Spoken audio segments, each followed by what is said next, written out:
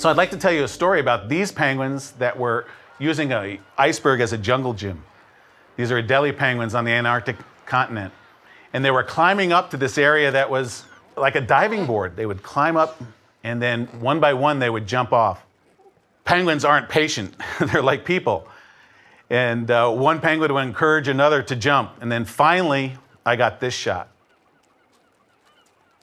There's no formula for getting great photography.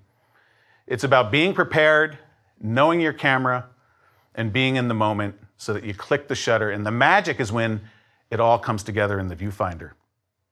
For those of you who like numbers, there's a fast enough shutter speed here, one two thousandth of a second, to stop the action. So you want to pay attention to shutter speeds when you're trying to stop the action. And it's really not about how high ISO you need because there's plenty of light in the Antarctic, but we'll talk about ISO as well. And that's setting the camera's sensitivity to light. The f-stop really doesn't matter. I'm not dealing with a lot of depth of field. The f-stop controls depth of field. So I just need a fast enough shutter speed here at 1 2000th of a second to stop the bird in flight.